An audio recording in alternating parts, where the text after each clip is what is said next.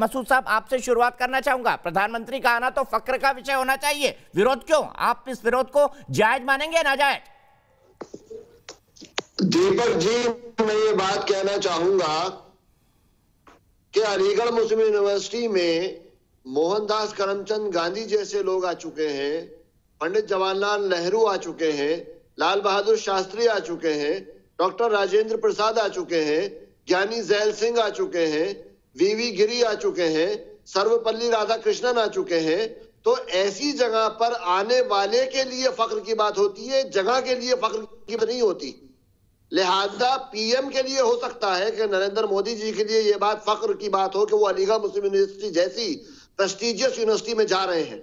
Aligarh Muslim university के लिए माफ़ कीजिएगा, कोई फख्र की बात नहीं है। मतलब ये आपका गुरूर कह रहा है, या आपकी विचारधारा कह रही है, बता दीजिए मुझे। ये अलीगढ़ मुस्लिम यूनिवर्सिटी का इतिहास कह रहा है। अच्छा ये वही इतिहास है जो जिन्ना को पूछता है। सच है क्या? आज भी आप स्टूडेंट यूनियन में जिन्ना की तस्वीर लगा के रखते हैं और प्रधानमंत्री के लिए ऐसे शक्त शब्दों का इस्तेमाल कर रहे हैं। आप जिन्ना को पूछते हैं और मोदी का विरोध करते हैं। क्या यही आपकी राजनीति है और क्या यही आपकी विचारधारा है जिन्ना का भी विरोध करते हैं। हम तो हटा दीजिए उनकी तस्वीर।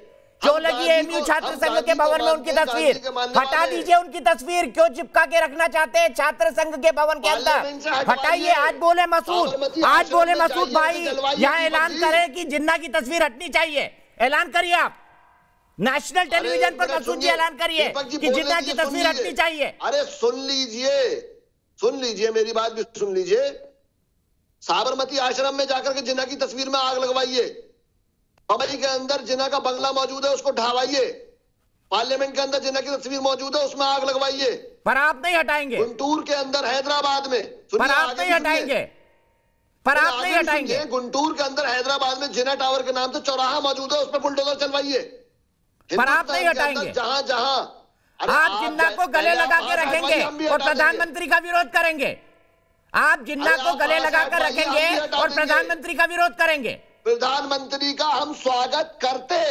सुनिए हम प्रधानमंत्री का स्वागत करते।